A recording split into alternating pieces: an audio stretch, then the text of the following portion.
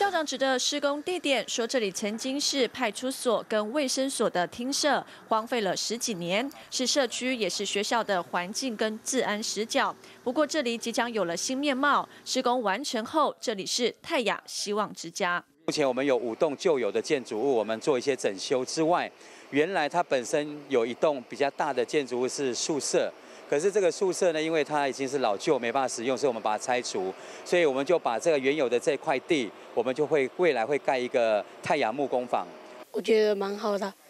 因为以前这样往到往那边看，就是全部都是杂草，然后不然就是玻璃全部破掉，就让人家看起来就像一间鬼屋。然后现在要重新那个翻修，然后就是环境会变比较好。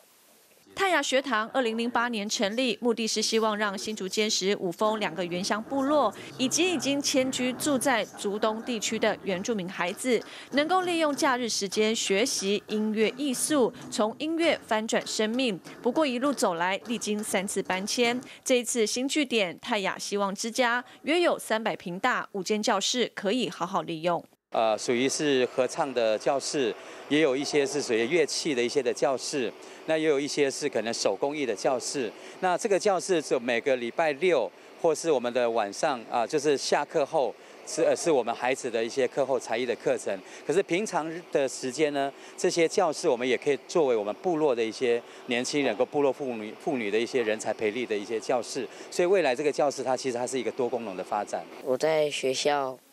有。上打鼓课，然后觉得一堂课有点不够，然后期待以后泰雅学堂在这里成立，假日的时候可以来这里学习。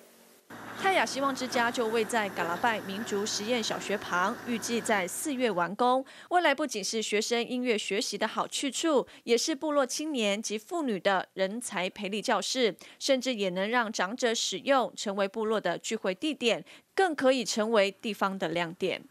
原是新闻，穆拉斯巴藏新竹坚实采访报道。